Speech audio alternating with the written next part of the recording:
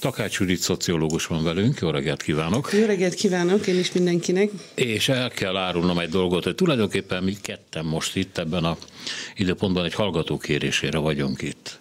Eh, aki írt nekem, és aztán beszélgettünk eh, Gmailem, eh, azt mondta, hogy hát tulajdonképpen arról, hogy hogy miért jelennek meg cikkek itt-ott, és szerintem nagyon nagy számban Magyarországon is, hát főleg ilyen jobboldali vagy szélső jobboldali fórumokon, hogy hogyan lehet gyógyítani a másságot, hogy micsoda eredményeket értek el már ezzel, és hát hozzá hasonló őrültségek, ami őt bizonytalanná tette, és hát szeretném, hogy erről beszélünk. Én próbáltam meggyőzni, hogy erről nagyon sokat beszéltünk már, de ez nem így van, hogy van egy mennyiség, és akkor az ilyen meggyőző erővel átjön, hanem úgy van, hogy erről mindig beszélni kell. És most, hogy e, eszembe jutott, hogy tegnap találtam is talán a Telexen, vagy a 24.hu egy cikket, amelyik pontosan arról szól, hogy hogyan jönnek elő ezek a Gyógyítsuk meg a másságot című történetek. E, és hát külön szeretném megköszönni, hogy átküldött nekem egy ilyen történeti anyagot, amit majd föl kell használnunk, mert azért beszéljünk kicsit ennek a történetéről is, jó? Görög-római ügyek talán ismertek, bár, ahogy megemlíti ebben az írásban, félreértjük azért ezeket egy kicsiket. Nem a szexuális másságról szóltak, hanem hanem, eh, hogy mondjam, a társadalomban való betagozós, betagozásáról a fiatalabb fiúknak, amiben ez hozzájárult a szerelem. Csak ebben azt jutott eszembe, hogy hát ha valaki nem meleg, akkor hogy tud egy meleg kapcsolatban lenni? Egy fiatal fiú, egy idősebb férfi, vagy az idősebb férfi szempontjából a fiatalabb fiú azt gondolom, hogy ez nem feltétlenül olyan um, módon működött, hogy mi ma elképzeljük ezeket a szexuális kapcsolatokat. Tehát mm. itt a, a, két ember közötti kapcsolatnak vannak olyan rétegei, amiben nem feltétlenül játszik ez szerepet, tehát, a, tehát ez simán lehetett sok esetben egy platonikus kapcsolat, és inkább ez a, az együtt létnek az öröme az, ami, ami ennek talán a, a a fő vonása volt, de ezt nagyon nehéz most már rekonstruálni, tehát ilyen több száz vagy ezer év után. De tény, hogy például hát a költészet az sok mindent meg őrzött ebből, és azt, azt tudhatjuk, hogy érzelmileg ezek nagyon hát intenzív kapcsolatok lehettek, de az, hogy ennek, tehát ez, ez milyen fajta testiségben nyilatkozott meg, vagy, vagy nem, azt ugye ilyen, innentől már nagyon nehéz visszatekinteni erre, tehát pontosan. Azt viszont hát ma is látjuk azt gondolom, hogy tehát a, a vonzalmak azok mindig lehetőségek emberek között, és az nem azt jelenti feltétlenül, hogy ezeket a vonzalmainkat kiéljük, tehát szerintem ez, ez ilyen szempontból elképzelhető, hogy tehát ha visszatekintünk arra, hogy egy, egy hát fiatalabb férfiak és idősebb férfiak közötti ilyen mester és tanítványi viszony, ez nagyon sok helyzetben ma is felelhető, és tehát valóban ez a, a társadalomba való integrálódásnak az egyik hát csatornája, tehát ami máig él. És hát amit az ön írása mutat, hogy mennyire sokféleképpen ítélték meg ezt a dolgot, elítélően, üldözéstek, valamikor e, gyakorlatilag, hát nem is szentesítették, de elfogadták. Van itt a, kez, a végső mondatát ad, e, idézem meg, a történelem kereke forog, és amit most elfogad, vagy éppen ünnepel a világ, az egykor megvetés tárgya is lehetett, így amit ma elítél, vagy éppen a négy fal köré zárva, az egy nap újra egyet jelenthet a normálisra. És hát ez mi sem mutatja számomra legalábbis, mert én ezt nem tudtam, hogy a keresztény egyházak, és hát ugye még akkor csak az volt, egy keresztény egyház a 12. században, mennyire, mennyire nem úgy ítélte meg a dolgot, mint ma. Sőt, ez nagyon meglepett, van egy szent, aki homoszexuális volt, ugye, ez a Canterbury Szent Anselm, 1033-ban lépett be a rendbe, aki lehet, hogy nem lépett testi kapcsolatba senkivel, de hogy szerelmes leveleket írt férfiakhoz, vagy egy férfi, az az biztos.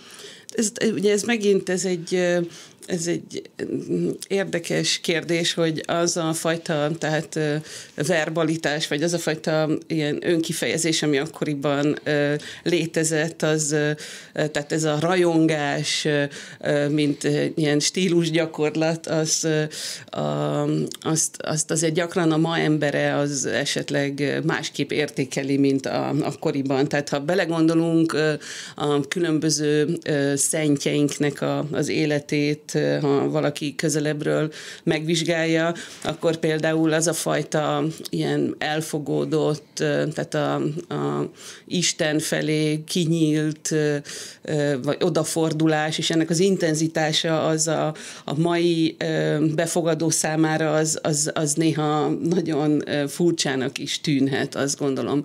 Tehát mindent érdemes a saját kontextusában vizsgálni, és a, a többi, tehát akkori szenthez képest azt gondolom, hogy ez teljesen tehát ilyen elfogadható lehetett. Ugye ez a Magyarországon is vannak ilyen viták vagy kérdésfeltevések, amikor egyes nagyjainknak a, a megnyilatkozásait, ahogy egy férfi szerző ír más férfi társához levelet, verset, vagy Kölcsei bármit. mondjuk. Például. Igen. Ugye ezt, hát nem, én nem vagyok ennek a, a tehát én nem vagyok irodalom történész, tehát ezt nem tudom így megítélni, de, de tény, hogy hát a tanulmányaim során én is ezzel találkoztam, és azt gondolom, hogy mind a két felé az ember nyitottnak kell lennie, tehát el tudjuk képzelni, hogy valóban ez így is működött, és úgy is talán. Hát másfél érzelmi állapotban voltak. Igen, hiszen az apácákat egy időben hívták Jézus mennyasszonyának. Hogyne, hogyne. És az azt jelenti, hogy Istenhez valami nem erotikus, de érzéki örömmel próbáltak visszanyúlni, mintha ami az ő földi életükből fizikailag hiányzott volna, azt áttranszformálták volna valami éterivé, Én azt Isten gond... iránti szerelemmé. Azt gondolom, hogy ez egy nagyon fontos technika, tehát, a, a, tehát egy ilyen boldogság elérési technika, ami individuális szinten is működhet, és hogyha ez annál ö, nagyobb ö, teljesítmény lehet, hogyha ez egy ilyen kollektív boldogság tudatba kapcsolódik be, mint mondjuk a, tehát ezt a, nyilván az egyház az mindig is ö, ö, hát elősegítette, vagy ö, mindenképpen pozitívan fogadta. Tehát, és ez szerintem ez egy, ez egy nagyon fontos ö, ö, módja annak, hogy az emberek ilyen értékesnek érezzék magukat, és ilyen hát összetartozónak. De azt is írja, hogy egészen az 1200-as évekig a most már valóban, tehát bizonyítottan más a testi kapcsolatot létesítő egyneműekkel kapcsolatban is a társadalom meglepő toleranciával viseltetett. Nem tudom, hogy ez valamiféle áthatása volt a görög-római kornak, de hát, hát hogy mondjam, csak állítólag ezt ön írja, nem állítólag, tehát biztos így van, hogy volt egyfajta szertartás az Adelfo Poesis, vagy poe, poe, po, hogy mondják, Adolfe Poiesis, na mindegy, fivércsináló, ez a lényeg, fivércsináló. Ennek során két férfi a pap előtt kéz a kézben hagyományos esküvői fogadalomhoz hasonlatóan esküdtet, egymásnak örök barátságot, testvériséget fogadva, amit rituális csók követett. Na most az a kérdés, hogy ez egy igazi eh, eh, homoszexuális aktus volt-e, vagy az ön által említett testvéri baráti szeretet szerelemnek a kifejeződése, de azért talán nem véletlen, hogy után pár idő múlva, vagy évek múlva ezt elkezdték üldözni. Igen? Um, szóval igazándiból a, um, um, tehát megint azt, azt, azt gondolom, hogy ezt mondom, ma már nagyon nehéz így vissza, visszakövetni, de az egészen biztos, hogy a, a, ez a nem, nem nevezem néven, de, de megélem, vagy csinálom, az sokkal jobban elfogadott volt, és, és tehát ezt azt hiszem, hogy a történelem folyamán nagyon sok korszakban, amikor, amiről már hát sokkal közvetlenebb benyomásaink, vagy bizonyítékaink vannak, vagy dokumentumaink, ez, ez, ez teljesen felelhető. Tehát amikor nem, nem identifikálom ezeket a cselekvéseket, amiket egyébként megcselekszem, de nem mondom, hogy ez az, ami, akkor, vagy tehát nem hívom erre fel a társadalom figyelmét, mondjuk így, vagy, vagy nem így nevezem meg, vagy egy olyan, tehát másképpen keretezem, mondjuk így, ami valamilyen módon elfogadható abban a társadalmi közegben, akkor ezzel így bele azt jelölöm, vagy azt jelzem, hogy, hogy bele simulok ebbe ebbe, és nem akarok ebből így valahogy kitüremkedni, uh-huh. az, az sokkal jobban um, elfogadja, azt hiszem, a, a közösség. És hát ez, ez a... történik most Magyarországon a Pride-dal kapcsolatban. Csinálják, csak nem utogassák. Ugye ez a társadalmi jó részének az értékítélet ezzel kapcsolatban. Igen, ez, ez gyakran előfordul, tehát ez a, ez tehát a engem nem mostani. zavar, engem nem zavar, csak... Igen, csak, csak a négy fal között maradjon. Igen, vagy hát nem, ne beszéljenek róla. Hát azért a 13. századtól elkezdődik egy elég jelentős üldözése ennek, tehát akkor már levágták a nemi szervüket, vagy a karjukat, lábukat, szóval mindenképpen a, az állam, hogy mondjam, csak rosszallását fejeztek ki valamiképpen. Ugyanakkor ezekben a századokban sok más dolgot is büntettek ennyire, uh-huh. hát manapság nagyon vadnak tűnő módon, úgyhogy tehát a házasságtörés, vagy egyáltalán tehát olyan fajta ilyen erkölcstelen megnyilvánulások, amik hát valamilyen módon a közfigyelmet érdemeltek, ez mindenképpen, tehát a mai viszonyainkhoz képest ezek azt hiszem, hogy tehát nagyon nagy figyelmet keltenének, de, de akkoriban ez, ez megint más, tehát más mérce alá esett, azt gondolom. Tehát nem volt ez egy, tehát nem volt, ez nem volt egy kitüntetett cselekménytípus, ugye ez az, amit amit Michel Foucault nevezett úgy, hogy ugye a 19. századig valójában ez csak egy volt a, a bármely elkövethető bűnök, vagy hát cselekvés típusok, nem is feltétlenül ugye ez attól függ, hogy melyik társadalomról uh-huh. beszélünk, tehát cselekvés típusok között, és gyakorlatilag identitását, tehát ember típussá csak a 19. századtól válik tulajdonképpen. Amikor én azt tudom, tehát az, amit csinálok, az, az meghatározza azt, aki vagyok.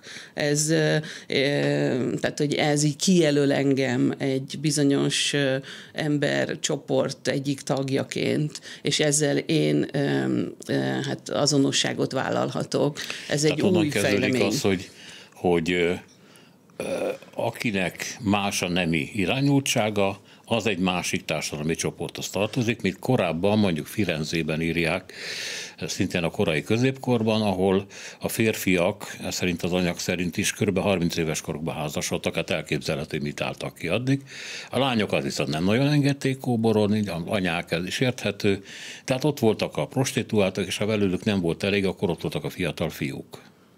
De az, hogy eljártak a a Ponte Vecchio lábához az ilyen-olyan házakba, azt nem jelentette föltétlenül azt, hogy, hogy ez, az, ez egy irányultságot jelent.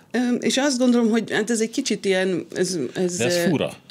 Az az érdekes, hogy amit, amit ma így a, hát ilyen a, a posztmodern szakirodalom egy ilyen nemi fluiditásnak nevezne, az annak bizonyos nyomait megtaláljuk ezek szerint már hát több száz évvel ezelőtt is, ami ugye abban nyilvánul meg, hogy a különböző öm, hát cselekedeteink azok nem egy irányba mutatnak feltétlenül. Tehát a különböző érdeklődéseink és Tehát amit ma mondjuk biszexuálisnak neveznek. Hát akár például. biszexuálisnak neveznek, vagy hát, vagy hát olyannak, aki, vagy pánszexuálisnak neveznek, vagy aki, nem tudom, aki nem akarja magát így elkötelezni, aki azt mondja, hogy én szerelmes vagyok, de nem, a, nem egy valakinek a nemé, neme határozza ezt meg, hanem az a személy, és, ezt, és erre azért találunk, tehát a, a, a, az irodalomban is jó példákat, és, és, és azt gondolom, hogy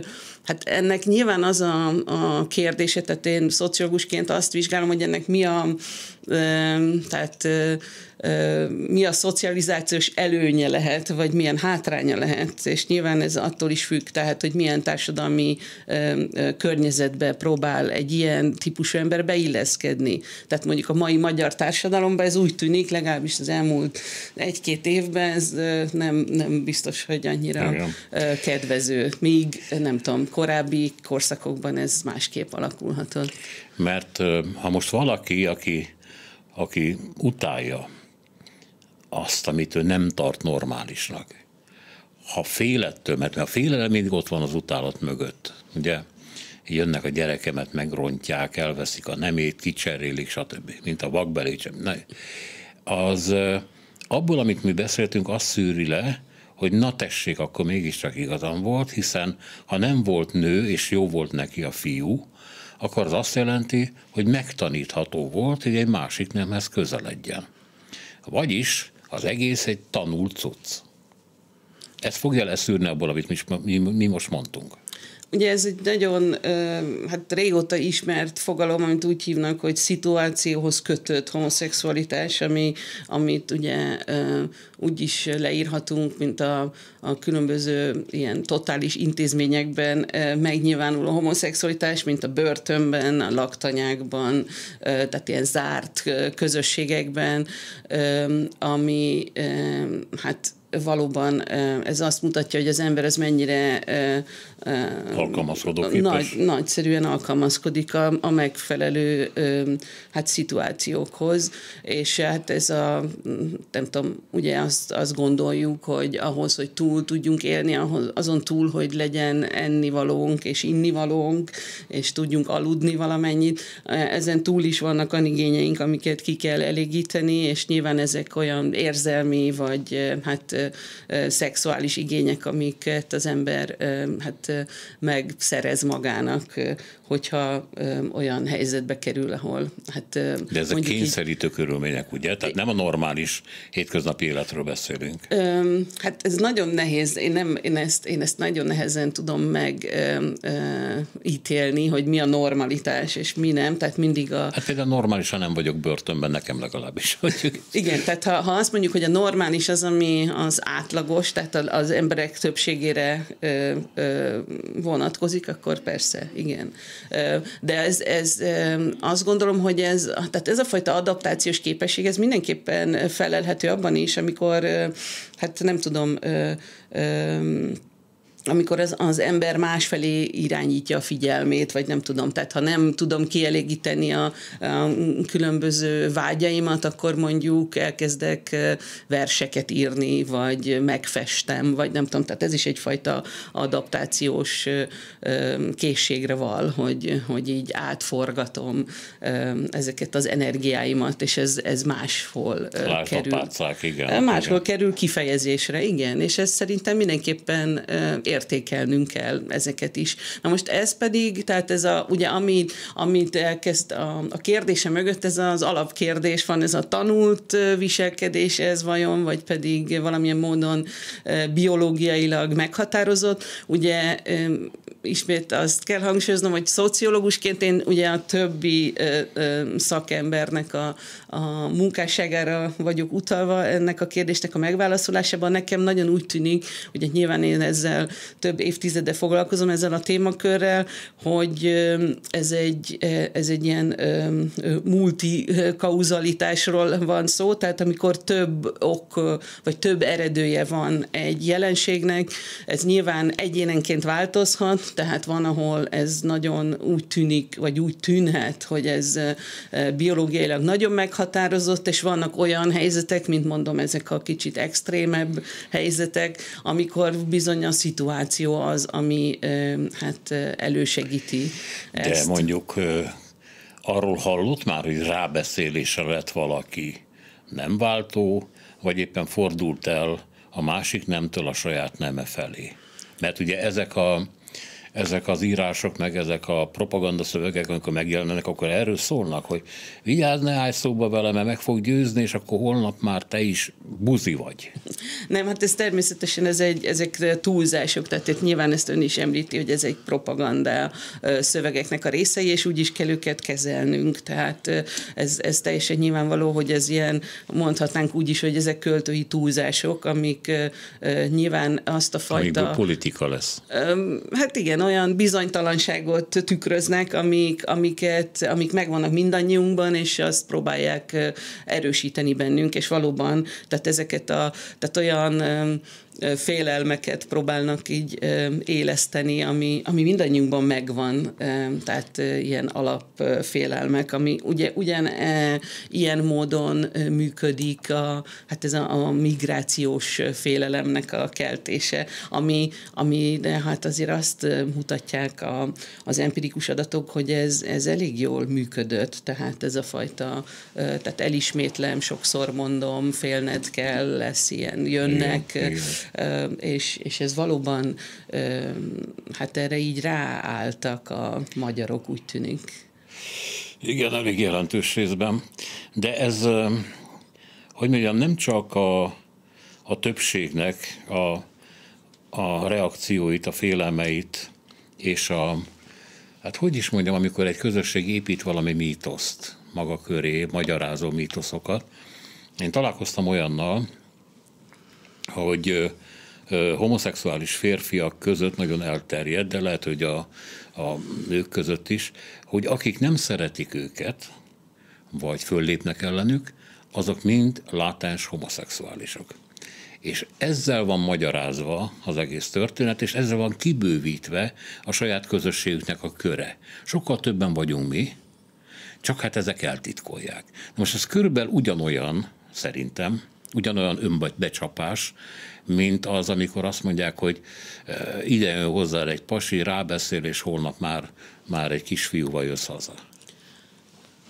Mm, hát nem vagyok azért ebben teljesen biztos, hiszen azt gondolom, hogy ha, ha valakinek a, hogy mondjam, a szakmai karrierjét, akár mondjuk egy politikusnak, ez egy, ez egy nagyon nagy, hát nagyon intenzíven befolyásoló tényezője, hogy, tehát, hogy homofób, és ezt tehát erre építi a, mondjuk így a politikai karrierjét, vagy annak egy részét, akkor akkor azért mindenképpen felmerül ez, hogy, hogy valami valahogy be van akadva nála, uh-huh. és én nem feltétlenül gondolom azt, hogy ő maga, nem tudom, homoerotikus, nem tudom, képzetekkel küzd egyébként, és ez, erre próbál reagálni, de tény az, hogy hát, hát pszichológusok, pszichiáterek erre felhívják a figyelmet, hogy ez egy létező uh-huh. dolog. Én nem gondolom, tehát erre nincsenek, mondom, empirikus bizonyíték, szándékaink, hogy nem tudom, például Magyarországon a fő homofób politikusainkat nyilván nem, tehát nincs ezekről tehát ilyen szakvéleményünk, hogy ők Hiszen egyébként... nem is tudjuk, hogy homofóbak-e, vagy pedig csak ez egy politikai esély, hát ez egy politi- kell lovagolni, hát ez egy politikai, politikai homofóbiának nevezhetjük, Igen. amikor, a, amikor a, a, a melegeknek a, az emberi jogait, azt beáldozzuk a politikai érdekeink oltárán. Ez, ez persze ez így van, de amikor szóval én azt gondolom, hogy ez, ez érzékelhető amikor valaki, tehát politikusként így nyilatkozik, tehát politikai homofóbiától fűtve. És szerepli a dolgot. Igen, és, és, és van, aki pedig tényleg, tehát ilyen nagyon átér, átérezve a, a, a, a kérdéskört, mondjuk így a részleteit, a, és, és ettől így tartva tényleg mindig visszatér ide, vagy tehát ez már egy ilyen mintázat az ő szerepléseiben, hát akkor, akkor, akkor én is így néha elgondolkozom, hogy itt ennek vajon mi lehet az oka. Tehát, hogy, hogy nincs vajon más fontos kérdés a mai magyar politikában, vagy a társadalmunkat nem lehetne jobban megszerelni más részeit, tehát miért ehhez kell mindig visszatérni? Hát ezt egy államtitkár megmondta, hogy most a legfontosabb a migránsok, a gender kérdés, meg a klíma. Tehát a kérdés ott van a második. De ennek következtében ez persze, hogy beakad a politikusoknak, de nem azért, mert ez irányultságuk ilyen vagy olyan, hanem majd, ahogy ön mondta, visszajárnak erre a csontra, mert rákhatónak bizonyult és hasznosnak. Bár azt is tudjuk, ugye azt gondolom, hogy ha véletlenül egy ilyen, nem tudom, politikai közösségben én érintett vagyok, akkor nyilván tehát több stratégia van arra, hogy hogyan tudok túlélni politikailag, és annak az egyik része az, hogyha túlkompenzálok. Uh-huh. Tehát nyilván ezt, amire, amit igen, először igen. felvetett, az ennek is egyik megnyilvánulási formája lehet, hogy nehogy véletlenül öm, öm, hát ennek tartsanak, de ez, ez nem meleg specifikus, vagy ez nem homoszexualitás specifikus, ugyan ezeket látjuk például különböző etnikai csoportoknál. Tehát ha, ha én tudom magamról, hogy van cigány származású ö, ö, felmenőm, akkor, akkor lehet, hogy ö, és egy olyan ö, hát cigány ellenes társadalomban élek, mint például a mai magyar, akkor ez is lehet egy fajta ilyen, hát szerint szerintem rosszul értelmezett önvédelem, hogy ki hát, Igen. felemelem a szavamat a cigányok ellen például. Innen folytatjuk Takács Judit szociológussal a hírek után. Takács Judit szociológus van velünk. Hát akkor lassan rátérhetünk a modern időkre. Ugye még elidőzhetnénk egy kicsit Viktória királynőnél, mert hogy a köztudat úgy tudja, hogy azok rendkívüli módon az a kor szemérmes és hazug volt e tekintetben, ez nem biztos, hogy így van önmagában, de ahogy ön mondta, voltak éppen a 19. század gondolom vége az, amelyik nem irányultsághoz kötötte, és állítólag én valahol olvastam, mindjárt meg is fogom találni, egy magyarnak is jelentős szerepe volt, mégpedig Kertbeni Károlynak. Így van. 1924-82 között élt, magyar újságíró, műfordító, ö, ö, azt mondta, ő állt ki először a homoszexuálisok jogai mellett, és azt mondta, hogy a, az nem cselekedet, hanem szexuális irányultság, ezt tisztelni kell, és ő mondta, hogy nem betegekről van szó, hanem velük született, megváltoztathatatlan tulajdonsággal rendelkező emberek. Ön ezt azért kicsit árnyalta már, ezt a dolgot. Meg, Amit saj, igen. Igen, tehát Kertbeni, ugye ez egy, ő egy érdekes ember volt olyan szempontból, hogy valóban ő, ő alkotta meg például ezt a szót, hogy homoszexualitás, és azt Aha. a szót is, hogy heteroszexualitás. Tehát ilyen szempontból mondhatjuk azt, hogy a homoszexualitás az magyar találmány, de ugye ez is egy érdekes kérdés, hogy Kertbeni maga, akit ön magyar írónak, újságírónak, hát bibliográfusnak lehet nevezni. Ő ugye egy, egy magyarul eléggé, hát mondjuk így, hogy törve tudó, egyébként Bécsben született, Budapesten halt meg, és önmagát, tehát egy, ő egy magyar identitású ö, ö, ember volt, viszont ö, hát így visszatekintve inkább ilyen magyarországi németnek mondanánk, tehát etnikailag mindenképpen, illetve hát ilyen kulturálisan, tehát ebbe a körbe tartozott, és a, a, a szexualitással kapcsolatos vizsgálatait, vagy elmélkedéseit, az bizony ő titokban művelte, és ez a, ez a kifejezés, tehát homoszexualitás, heteroszexualitás kifejezés, ez 1868-as privát levelezésében ö, ö, kerül elő először, és 1869-ben egy politikai pamfletben ö, ö, kerül nyomtatásba, tehát akkor válik publikusá, de akkor nem tudjuk még, hogy ez ő, hiszen névtelen volt ez a politikai pamflet. Egy, ugye abban a kontextusban került ez elő, amikor az első német egyesítésnél ugye az volt a kérdés, hogy milyen melyik német tartománynak a, a, a jogrendszerét vegye át az egész német birodalom, és ugye hát a homoszexualitás szempontjából szerencsétlenül sikerült, mert a porosz szabályozás az jóval ö, ö, szigorúbb volt, mint mondjuk mint én Baden-Württembergben, vagy Bajoroknál, vagy szóval sok más helyen.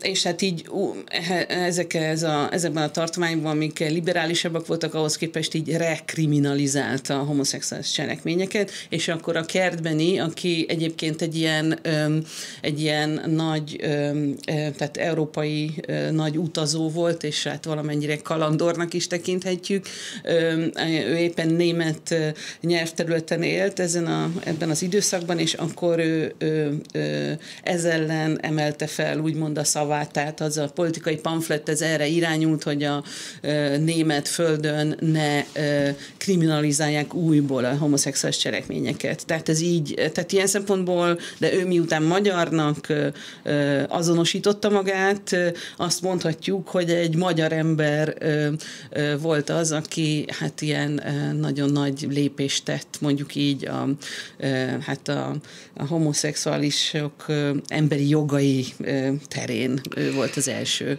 Ha megpróbáljuk fölmérni, hogy a magyar társadalom ebből a szempontból nem, nem mondjuk azt, hogy a magyar, a magyar társadalom különféle részeit, kisebb, nagyobb, zömmel, stb.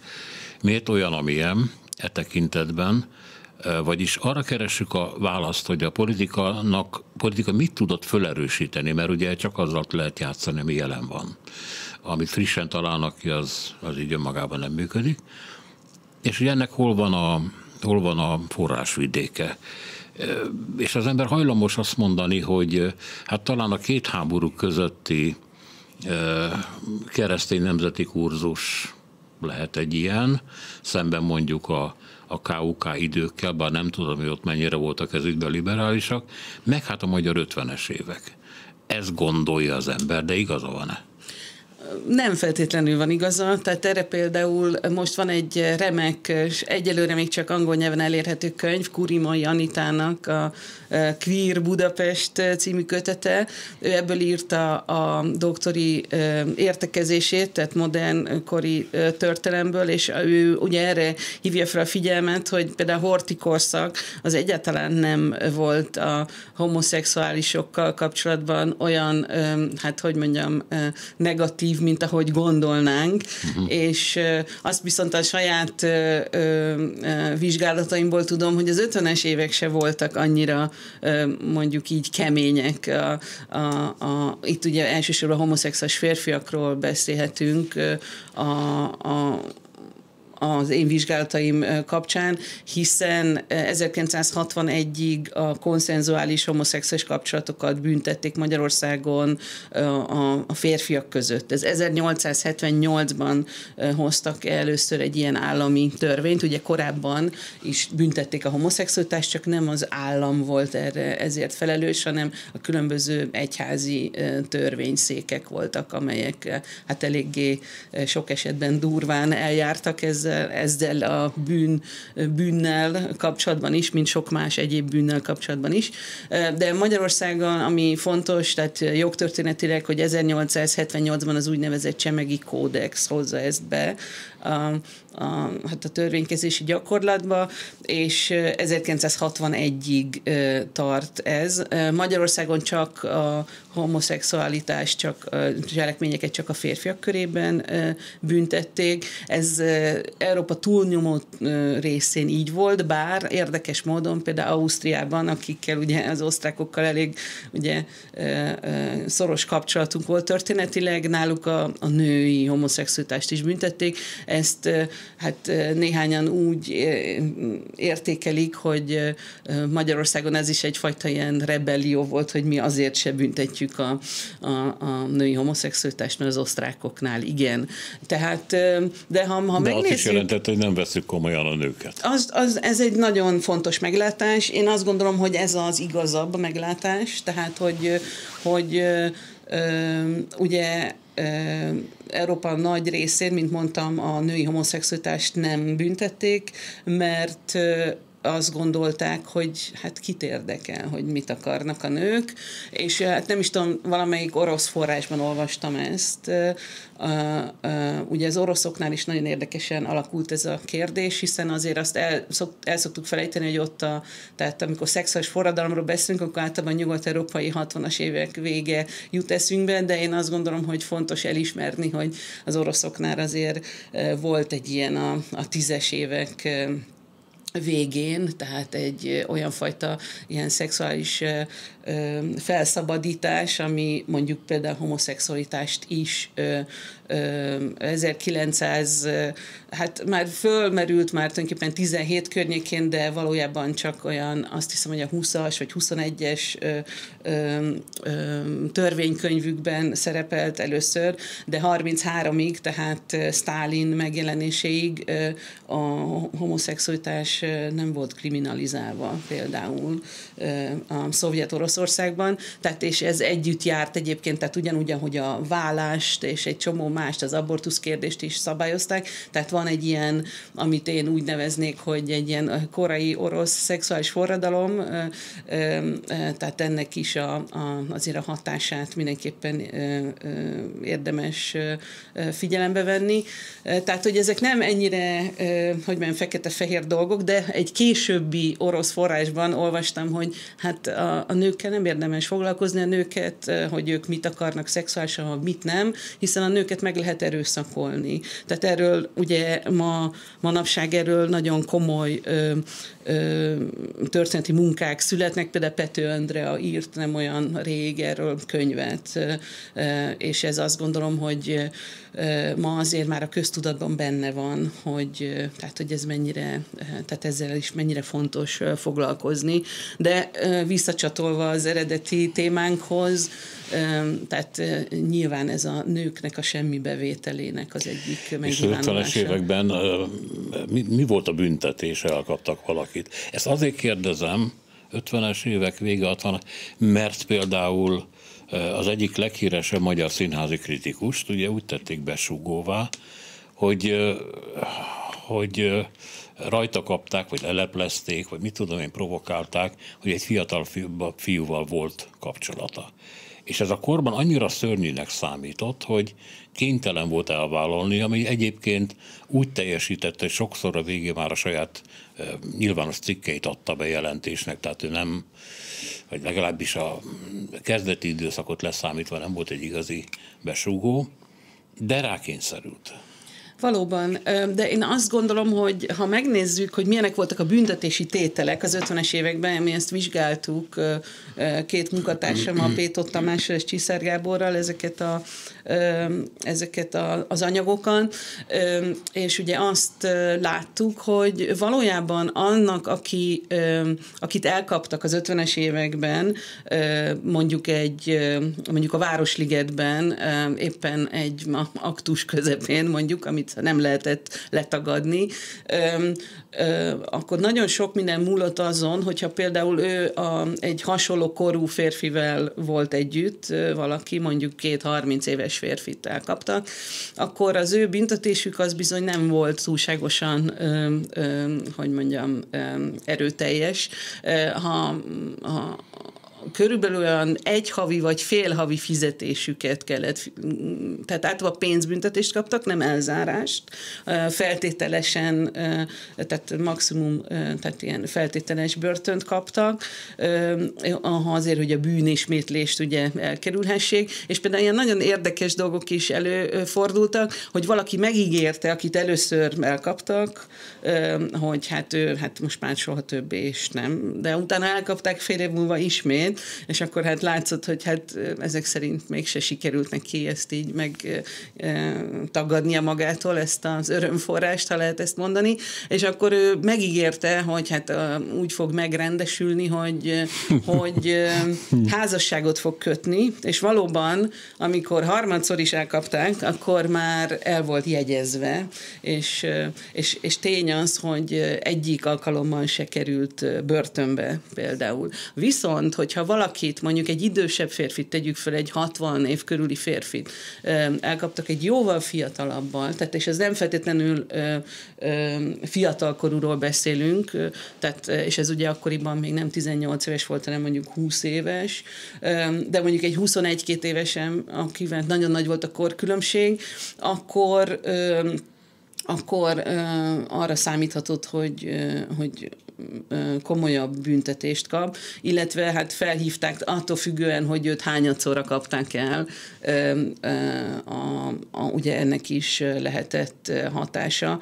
De ahhoz képest, hogy milyen, milyen benyomásunk van, tehát azt mondjuk, hogy ez sötét 50-es évek, a Rákosi korszak, ahhoz képest tényleg meglepő az, hogy, hogy hogyan, vagy meglepő lehet, hogy, hogy valójában ezek azért nem azok az elrettentő büntetések voltak, hogy valakit lecsuktak, nem tudom, évekre. Hát mondjuk lehet, hogy egy ilyen neves, fontos lapnál dolgozó ember elvesztette volna az állását. Én azt gondolom, hogy nagyon sokszor, tehát a, akkor is, tehát ugye azért azt szokták kérdezni tőlünk, tehát akik ezekkel a kérdésekkel foglalkozunk kutatóként, hogy és akkor mi történt 61 után? Ugye ez valójában a 62 júliusát jelentette, amikor a dekriminalizáció valóban életbe lépett.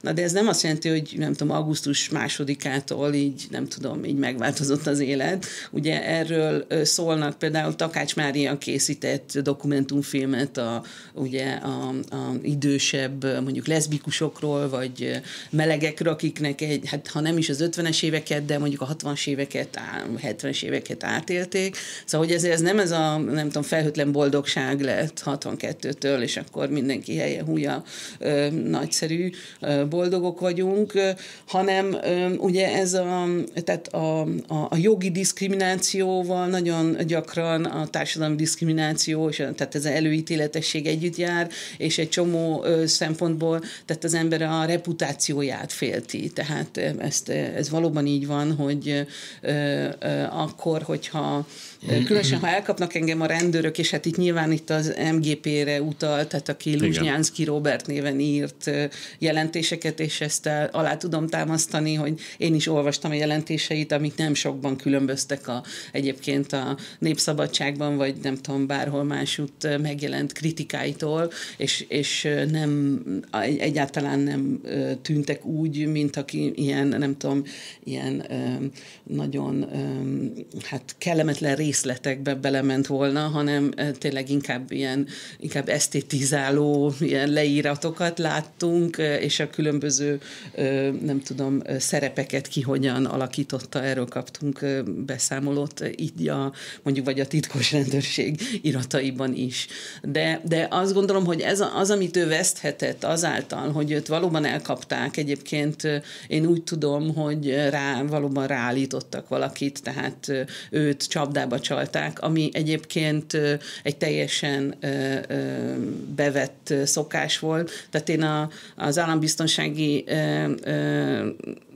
levéltárban is végeztem kutatásokat, és ott ugye a, azt is meg lehet vizsgálni, hogy a, a titkos rendőrök szempontjából ez hogyan alakult, és valóban ők nagyon jól felépített ilyen hát csapdahelyzeteket hoztak létre, és az az igazság, hogy ahhoz, hogy valaki homoszexualitás vágyába keveredjen, nem is kellett homoszexuálisnak lenni egyáltalán. Tehát ezt ugyanúgy föl lehetett használni, eh, mint eh, hát bármilyen más ilyen eh, hát dehonestáló dolgot. És ezt jól csinálták, azt gondolom, viszonylag hatékonyan. De azt, azt mondhatjuk tehát, hogy a dolog állami kezelésében ennél fogva, ugye ez mindig egy mintaadás, nem föltétlenül a legkegyetlenebb módszerek voltak, hanem néhol valamiféle liberalizmus is érződött ezekben.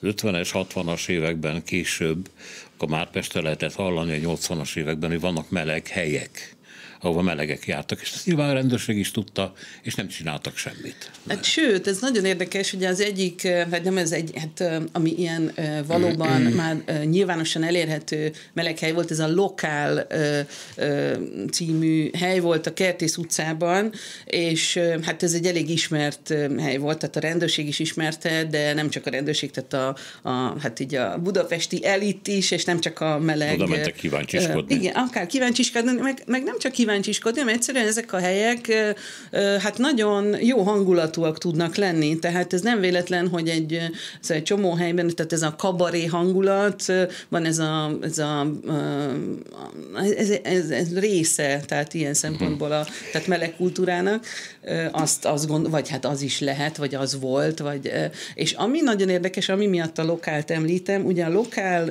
környékére szerveződött, vagy hát a lokál történet összefügg a, a, a a Homérosz Egyesületnek, az első magyar ö, ö, homoszexuális egyesületnek a szerveződésével, és azt ugye, az már informálisan 1980-as évek közepén elindult, és ugye 88-ban jegyzik be még az rendszerváltás előtt. Az első, egyik első magyar civil szervezet, hm. NGO, az egy, az egy homoszexuális szervezet volt, ö, és hát ez, ez ami, ami nagyon megdöbbentő az az, hogy a Homérosznak a, a, az elnöke, cikke, az, hát ez is, ez is az országos levéltárban olvasható a levelét, amit a, a, a, az államelnöknek ír, a Straub F. Brunónak, amiben arról panaszkodik, hogy az ő ö, helyükön, a lokálban nagyon gyakran látogatnak be a rendőrök, és ott őket igazoltatják, és ezt a fajta ö, hát magatartásmódot kifogásolja, és szeretné arra kérni az államelnököt, ugye az ő, mint a Homérosz elnök, egyik elnök úr, a másik elnök úrnak azt írja, hogy most már hagyjanak minket békén, mert mi egy komoly társadalmi kisebbség vagyunk, és nem tűrjük ezt a fajta bánásmódot. És mindezt írja, nem tudom, 89-ben mondjuk így. Hát Tehát, akkor már mindenki mindent hát beszélt. Hát lehet, de azért azt gondolom, hogy ez akkoriban mégis, tehát igen, most, most, ügyben, már, most igen. már így látjuk, hogy 89 hó, akkor már bármi lett, de amikor 89-ben valaki ilyeneket írt, az nem biztos, hogy tudta, hogy neki már ezt Igen. szabadna. Szóval azt akartam az előbb mondani, hogy és ezzel együtt jár egy, egy elutasítás ezzel a liberális vonallal, és a magyar társadalom a kettő között ingadozik, és végül ott áll meg, ugye menjenek a négy fal közé, csak ne lássam őket. Még egy kérdés van, amit a hallgató igazából föltett, és eddig erről nem beszéltünk, ezt tudni, azok a cikkek, amik amerikai, európai, meg a hát teljesen ellenőrizetlen példákat rángatnak elő arra, hogy folynak gyógyítási kísérletek. Ez a reparatív terápiára gondol? Igen, például, hogy ezeket, és akkor ezek, azt hiszem, hogy talán egy Mandiner cikket említett a hallgató. Na mindegy. Tehát, hogy ez jelen van Magyarországon, ez, ezt emberek olvassák, ezeket valamiképpen biztos meggyőzi, mert akarják, hogy meg lehessenek győzni. Lám nem velük született, tehát kiírtható belőlük, és, és itt vannak ezek a, ezek a dolgok. Tud erről, hogy igen, tehát ez a reparatív terápia, amit én ilyen, ilyen idézőjelbe kell, hogy mondjak, ezt így mutatnom kéne, a két idézőjelet. Ugye ez, ez azt feltételezi, hogy van egy ilyen természetes állapotunk, amiben így vissza, nem tudom, igazítanak bennünket, és, és hogy ez a természetes állapotunk, ez a heteroszexualitás, és aki hát nem ilyen, azt így megszereljük, és akkor hát, arra kondicionáljuk, hogy... Tanulók biológiai könyve most azt írja, hogy ez nem természetes, igen, a homoszexualitás. Hát ezt azt gondolom, hogy ennek nem én vagyok a fő, ö, ö, hogy mondjam, szakember, aki ezt el tudja mondani, hogy mi a természetes, még biológiai, vagy mi nem, de ez, tehát gondolom, ö, hogy az ehhez, ehhez nálam jobban értők, azok alá tudják azt támasztani, hogy, hogy természetesen ez a fajta ö, ö, hát jelenség, ha biológiai jelenségként nézzük, ami egyébként az állatvilágban is megtalálható, tehát ez nem csak emberi elemző, az nyilván ennek van egyfajta hát evolúciós előnye is, hogy fennmaradt, tehát mindenképpen. De ez... most csak nagyon kevés idő van a reparatív. A reparatív terápia az mindenképpen azt gondolom, hogy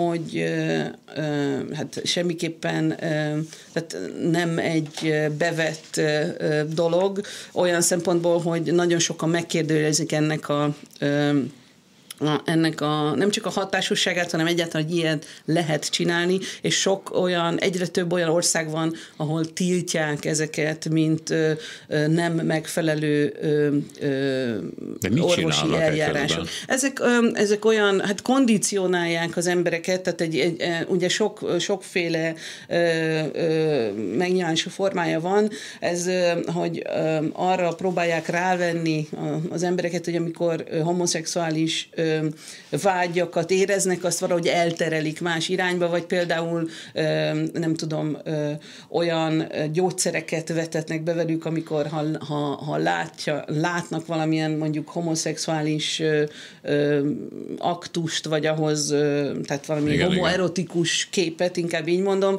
hogy ezt nem tudom, akkor hány inger fogja el őket például, vagy valami, tehát egy, én, én nekem, ami a benyomásom erről, az inkább egy ilyen ki kínzáshoz hasonlít. Tehát egy kicsit olyan, hát nem tudom, mint amikor az embert le akarják szoktatni valamiről, mint a balkezeseket ugye átszoktatták a jobb kezességre, de hát mondjuk az kevésbé volt szerintem ilyen kínzás jellegű, bár talán az is az volt, de, de mindenképpen azt gondolom, hogy ez egy olyan fajta ilyen, hát természetelenes beavatkozás az, ezeknek az embereknek az életében, amit nem gondolom, hogy támogatni lehet.